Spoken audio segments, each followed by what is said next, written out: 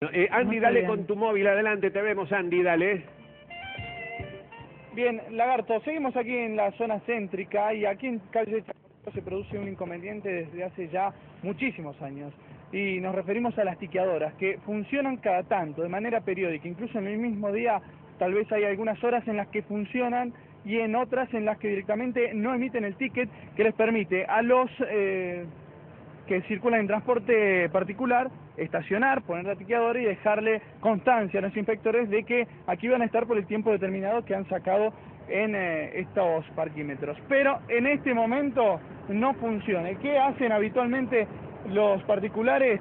Ponen el cartelito que les dicen a los inspectores que justamente no están funcionando, no andan. Pero queremos conocer el real motivo de este mal funcionamiento de las tiqueadoras.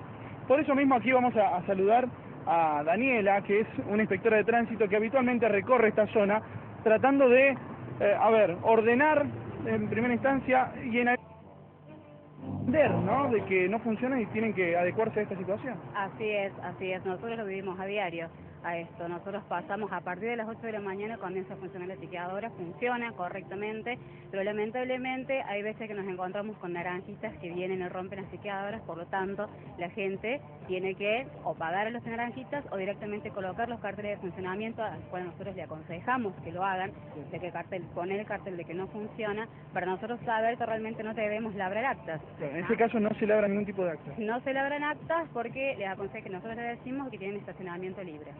Y con los que no ponen el cartelito, Y más o menos tenemos la misma consideración porque hay gente que no, no sale muchas veces a la calle con una lapicera y un papel para colocar su cartel. ¿ustedes podrán constatar de que efectivamente los naranjitas son los que rompen eh, la tiqueadora? Así es, nosotros hemos tenido en varias zonas eh, problemas porque... las No solamente aquí. No solamente aquí, en muchas zonas, también en Nueva Córdoba. En- Generalmente donde hay estacionamiento medido este, ocurre esta situación a diario, a diario. Nosotros pedimos constantemente que se vengan, a, a- informamos que se arreglen las piqueadoras, se arreglan, o sea, se realiza el trabajo y a, las, a los 15 minutos, media hora, las piqueadoras vuelven a romper. Gracias. De nada. Bien, Lagarto, miren ustedes, en este momento está llena esta zona, vamos a seguir caminando por aquí porque aquí están todos los vehículos eh, sin el cartelito, por ejemplo, aquí uno oficial de la policía que no tiene el cartelito, pero que está estacionado en esta zona donde no funciona la tiqueadora. Aquí hay otro, sí, este Duna con este cartelito. Bueno, así está la situación dada en la avenida Chacabuco y en otras zonas también nos decían que pasa lo mismo. Los naranjitas la rompen para poder trabajar ellos. Bueno, esa es la, la, por lo menos la denuncia que ha hecho la, creo que era una inspectora Sí, municipal, inspectora, sí. que los naranjitas rompen las tiqueadoras para que obviamente ellos puedan, puedan trabajar. De todas maneras, a mí me ha pasado una vez que no andaba la tiqueadora, yo llamé al teléfono, tiene un teléfono la tiqueadora, me atendieron muy bien, me, di- me dieron un número para que ponga en el papelito, ahora no hay más eso. ¿Cómo no si hay tiqueadora?